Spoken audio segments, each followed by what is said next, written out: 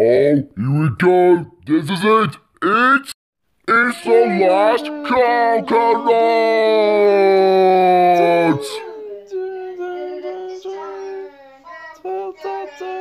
Time for Big Sid!